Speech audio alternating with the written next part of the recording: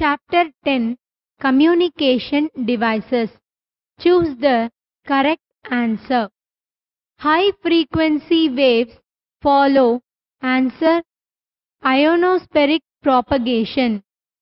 The main purpose of modulation is to answer transmit low frequency information over long distances efficiently. In amplitude modulation, answer the amplitude of the carrier wave varies in accordance with the amplitude of the modulating signal.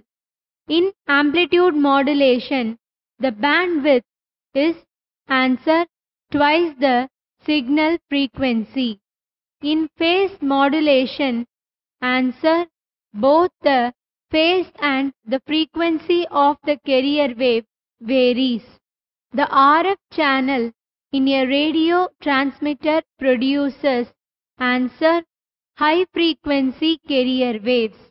The purpose of dividing each frame into two fields so as to transmit 50 views of the picture per second is answer to avoid flicker in the picture. Printed documents to be transmitted by fax or converted into electrical signals by the process of answer scanning. Please subscribe our channel for more videos and educational contents.